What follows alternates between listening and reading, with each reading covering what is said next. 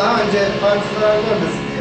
CHP üyesi 5 kişi haberleri olmadan sahte dilekçe ve imzalarla partiden istifa ettirildiklerini iddia ederek Bodrum Cumhuriyet Savcılığına suç duyurusunda bulundu. Bireyler müsait olduğu Kaç kişi var suç duyurusunda? Yani. Dalga dalga. Dışarıda e, olan var yani şehir dışında olan var. Ortakent Yahşi beldesindeki bir iş yerinde düzenlenen basın toplantısında konuşan CHP üyesi Nurol Köse, Bodrum'da 21 Ocak'ta delege seçimleri yapılacağını söyledi.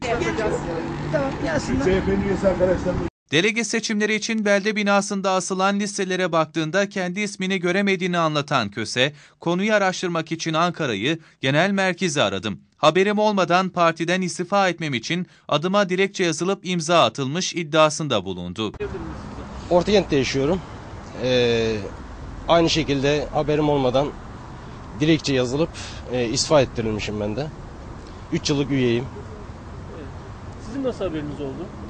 E, listelere baktığımda e, ismimin olmadığını gördüm. E, araştırdığımızda Ankara'ya Ankara'dan genel merkezden araştırdığımızda istifa ettirildiğimi öğrendim. Öğrendiniz. Neler Evet. E, çok üzüldüm yani.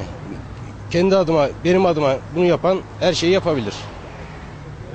Peki ilçe yöneticileriyle görüştünüz mü hiç herhangi bir... Hayır, dün suç duyurusunda bulunduk. Yaklaşık 10 yıldır CHP üyesi olduğunu ifade eden Çelebi Güldaş ise benim adıma evrak hazırlanmış, altına imza atılmış ve Ankara'ya gönderilmiş. Ben istifa etmedim dedi.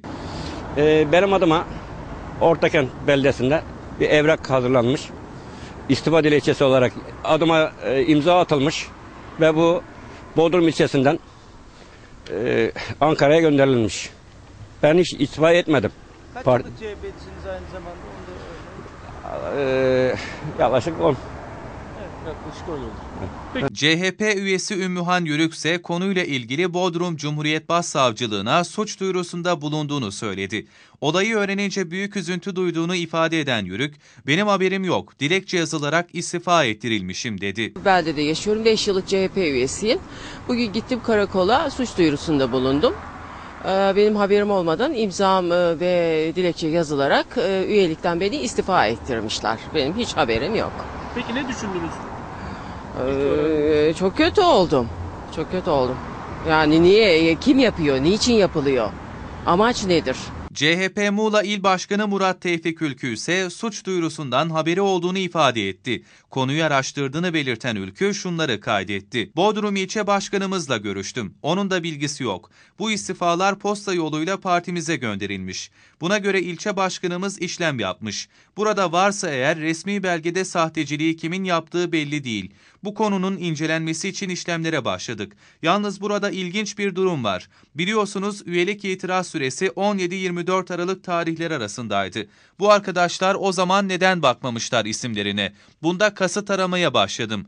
Partimi zor durumlara düşüren hareketler bunlar. Bunun sıkıntısını çekiyorum.